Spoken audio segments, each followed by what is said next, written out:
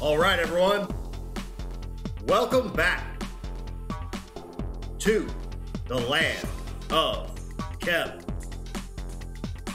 I am your host and the author. My name is Jeffrey Drum. Thank you all so much for joining me again. All right, everyone, welcome back. This is episode 109 Electric Fields Inside the Great Pyramid, Part 2. And today I will be providing evidence for my hypothesis as presented in episode 106 that the Great Pyramid was intentionally left without a capstone to facilitate the accumulation of an electric field, which provided the ideal target for being struck by lightning. If this is the type of content you're interested in regarding the ancient technology of a lost civilization utilizing chemistry and physics, and the function of the Egyptian pyramids and other ancient structures from across the world, this is the channel for you. So please subscribe to the Land of Chem here on YouTube. And don't forget to click that little notification bell so that you do not miss the new episodes that premiere twice per week. Please like, comment, and stay tuned. If you want to help support this channel, check out the Land of Chem members only section for exclusive research related content and unreleased footage that you will not see anywhere else. Link in the video description below. If you want to pick up a copy of the book or grab some merch, check out thelandofchem.com. If you want to follow me on Instagram, my handle is at thelandofchem. Also, don't forget to check out our two newest channels here on YouTube Egypt Eats for food reviews and Egyptian Trash Cats for our adventures caring for our Egyptian street cat family. Ladies and gentlemen, thank you all so much for your support. I think that is it for today's intro. So without further ado, let's get right to it. And for anyone that's interested in coming to Egypt to see the pyramids for yourself, the 2024 Land of Chem Ancient Alchemy and Ascension Tour is on, and bookings are now available. For a taste of what you can expect during this life changing adventure experience, check out the tour promo video that dropped last week. And if you want to join, please send me an email to contact at thelandofchem.com with the subject line 2024 Egypt Tour and I will send you the full tour itinerary and pricing details.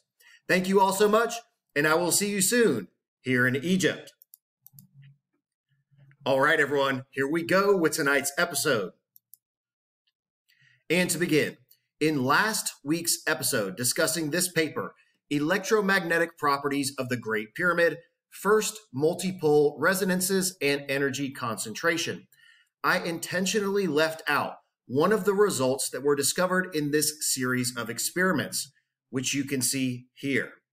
As it is so important that it deserves its own episode and provides conclusive evidence for my hypothesis as presented in episode 106 that the Great Pyramid never had a capstone, allowing the accumulation of an electric field at the top of the structure, providing a target for lightning strikes. So now let me explain exactly what you are seeing in this image. So recall from episode 106 that telluric currents, natural electric currents flowing in the Earth's crust and mantle, known as terra levis or shallow earth currents, quote, have a controlling impact on the strike locations of cloud to ground lightning. And remember this statement as I will be coming back to it at the end of the video that these natural electric currents have a controlling impact on the strike locations of cloud to ground lightning. Basically, that these electric fields accumulate charges on the surface of the earth that attract lightning strikes of opposite polarity from cumulonimbus clouds. And I hypothesized that the limestone dielectric material composing the body of the Great Pyramid would create electric polarization within the stone structure, creating a positive electric field distribution near the apex of the structure.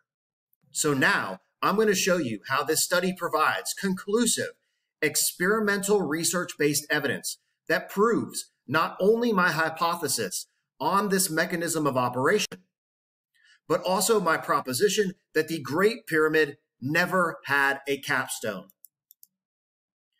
So recall this experiment from the study, where the electromagnetic energy in the form of radio waves were directed into the body of the pyramid, as shown here, in the direction of vector k.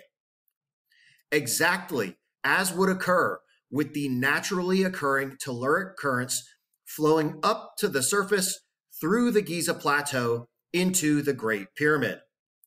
And you can see here that at the lowest frequency wavelength of 230 meters, an absolutely spectacular phenomenon occurs where a tremendous electric field accumulates near the top of the structure.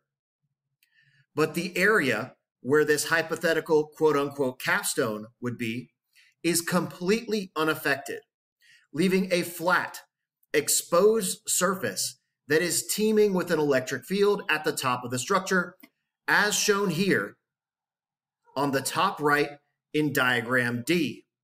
And this is what it looks like.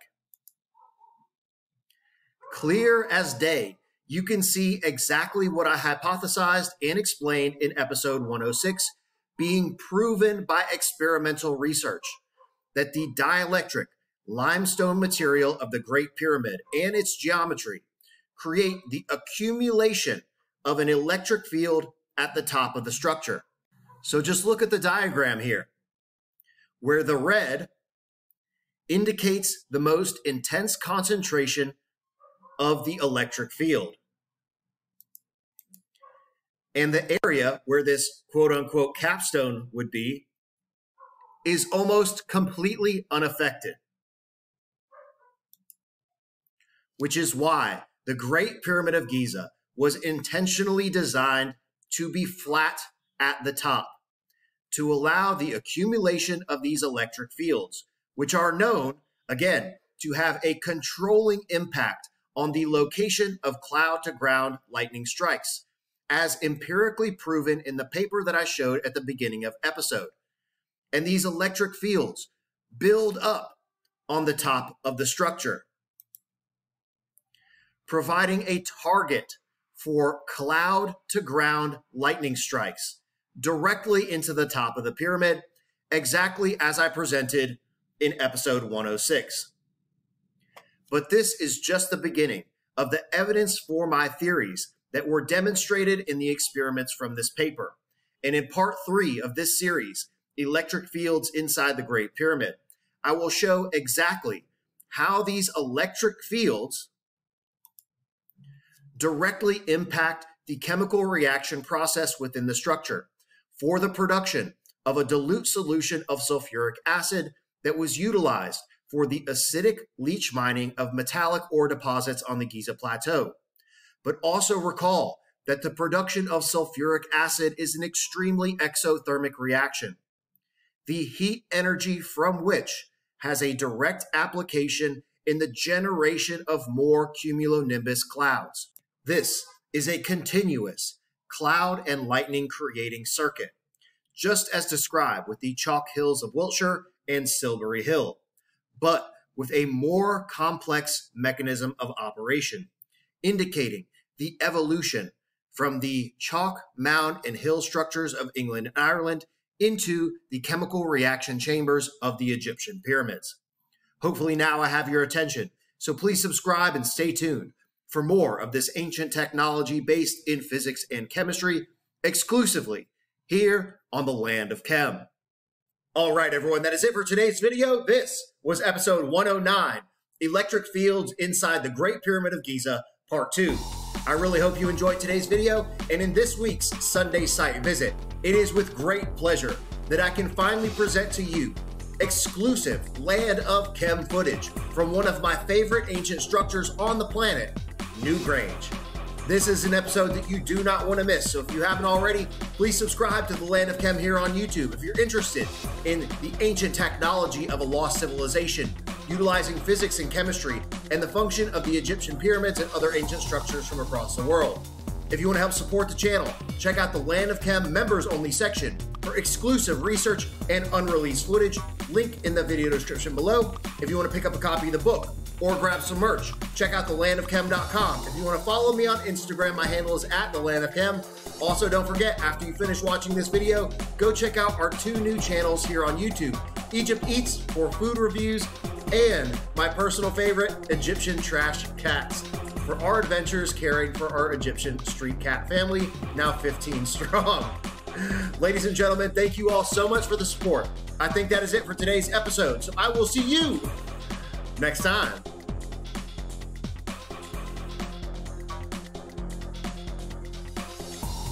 Yo, are you still watching this? Please subscribe to the Land of Chem here on YouTube and click that little notification button. New videos coming out every single week. And check out this other episode. Come on, do it. Do it now.